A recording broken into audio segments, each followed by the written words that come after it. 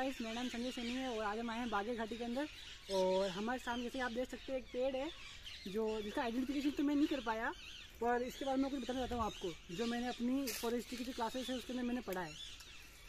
ये जो ट्री है, आप इसके नीचे देख सकते हैं कि ये किस तरीके के जो ये बार मतलब एक पूरा क्लियर बोल नहीं है।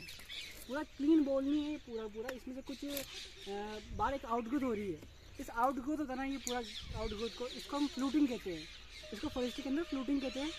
फ्लूटिंग का मीन्स होता है कि आ, कुछ आउटग्रोथ होना बेसल से टेपर से। टेपर मीन्स होता है कि आ, जो नीचे बोल होता है ना जहाँ से बेस होता है वहाँ से लगातार डिक्रीज होना अप अपवर्ड तक। उसको अपन टेपर कहते हैं। तो टेपर के अंदर से अगर बाहर जो इस तरीके के फ्लूट निकलते हैं तो उसे फ्लूटिंग कहते हैं। और ये एक तरीके से इसको सहारा देने का काम करता है। तो ये है हमारा फ्लूटिंग और इसकी हाइट लगभग होगी ये होगा लगभग लगभग बीस या तीस मीटर के समथिंग मान लो आप इसकी हाइट है। ठीक है? Thank you guys